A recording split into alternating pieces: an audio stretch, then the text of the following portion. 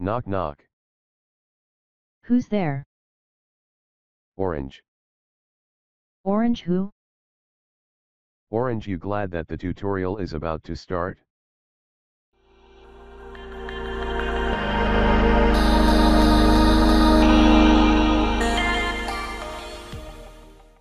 So what will we be covering in this tutorial? We will be looking at the GUI theme option. What is that? I'm glad you asked. The GUI theme option allows you to change the appearance of some of the default GUI controls. Okay, so how do we use it? There are a few ways that we can incorporate this option, let's have a look at them.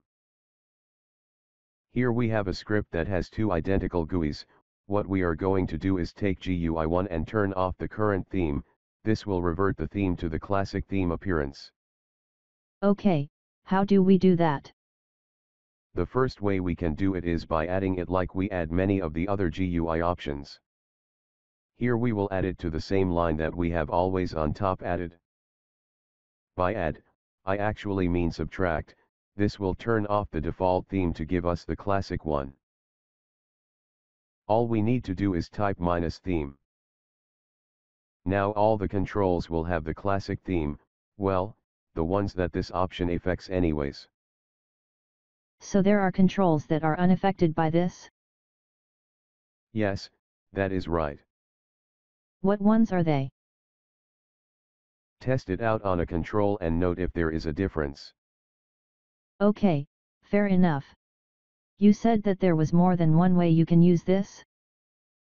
That's right. Another way you can use the theme option is right in the options for any control such as a button for example. Simply type minus theme where you would add any other option. So are you saying that I can make a GUI that has some buttons with the default theme and some with the classic theme? Yes, I think it would look a bit odd if you did it that way, but you could have one theme for some control types and use the other theme for some of your other control types. Okay, good to know.